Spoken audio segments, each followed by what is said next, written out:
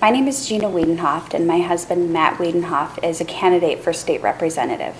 We've been married for nine years and have three beautiful children. Matt is an adjunct professor teaching business and economics, and he owns and operates his own small business. Being an educator, Matt has followed the legislative process on so called Common Core standards closely and was very disappointed when Amanda Price voted yes. Matt believes in standards, but not lower standards.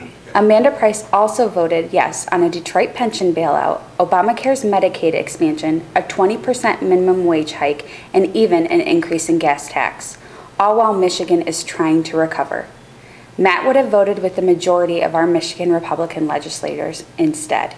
Lansing lobbyists won't like him, but he will represent all the people of the 89th District fairly.